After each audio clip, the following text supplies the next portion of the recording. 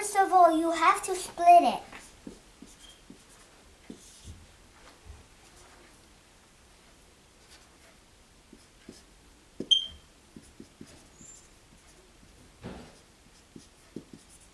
You have to put n minus 2.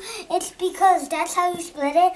See, minus 2 subtract 2 is 0. So it would be that. And this tangent would be gone. See?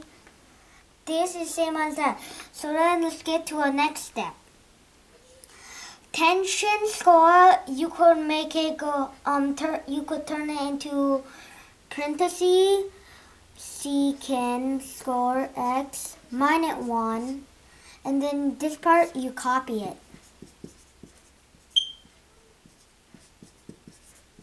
Then you time it in.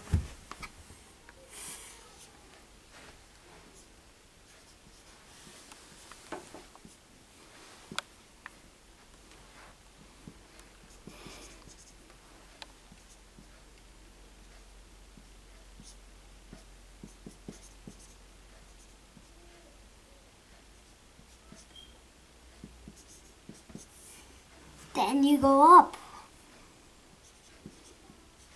This one you just keep it. And always so tangent and minus two.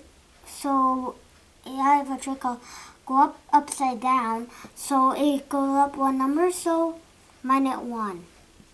And then upside down flip it over. And then this is gone. Then my and copy this but this one it never went up so you put this. The tangent copy the other parts